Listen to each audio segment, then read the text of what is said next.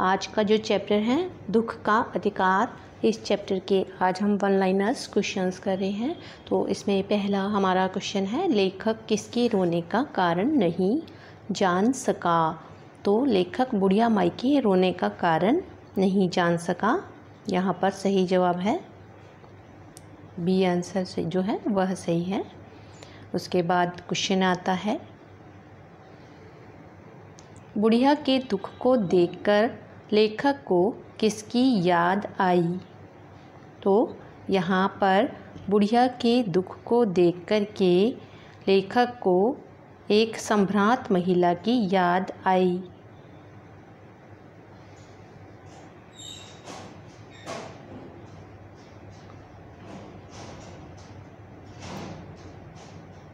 Next question आता है। समाज में मनुष्यों का अधिकार और उसका दर्जा कैसे सुनिश्चित होता है?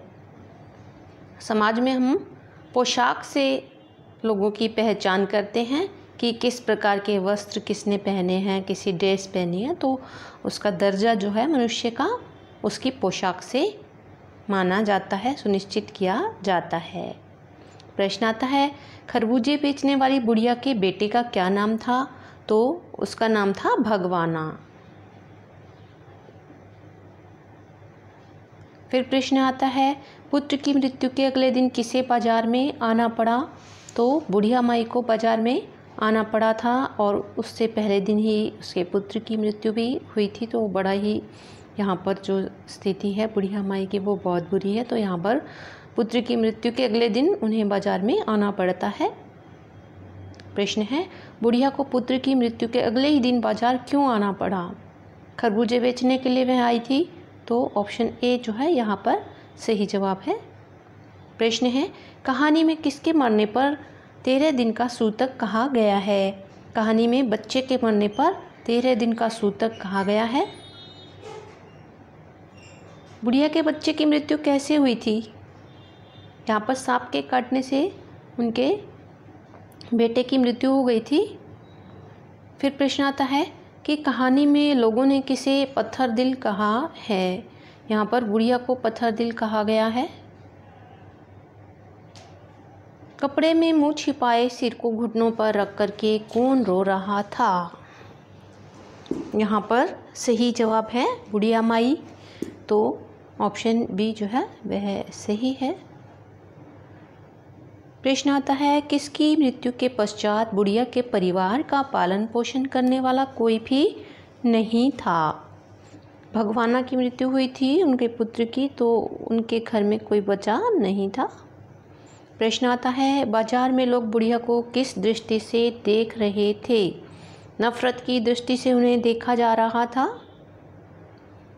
प्रश्न आता है, सांप के काटने पर बुढ़िया किसको बुला करके लाई थी?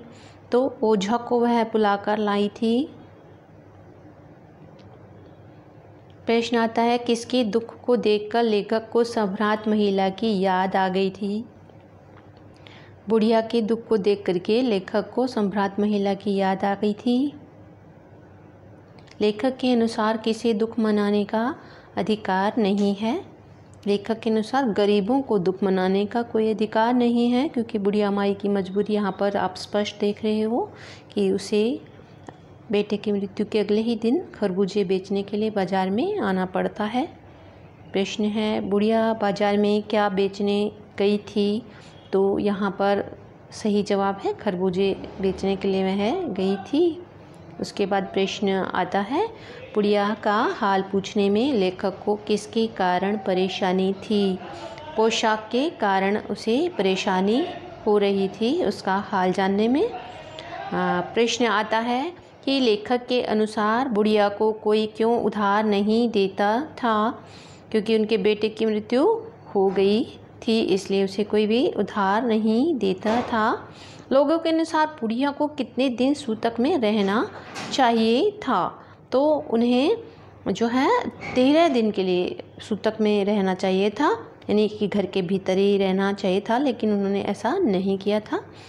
उसके बाद क्वेश्चन आ जाता है कि सांप के काटने के कारण लड़के का शरीर कैसा हो गया था? तो सांप के काटने के कारण लड़के का शरीर जो है, वो काला हो गया था। ये हमारे क्वेश्चंस हैं और अगर आपने चैनल को सब्सक्राइब नहीं किया है तो ज़रूर कर लेना और साथ ही बेल बटन भी प्रेस करना ताकि सारे नोटिफिकेशंस मिल जाएँ। सभी जितने भी चैप्टर्स बनाए जाते हैं, आप ही के लिए बनाए जाते हैं। Thank you for watching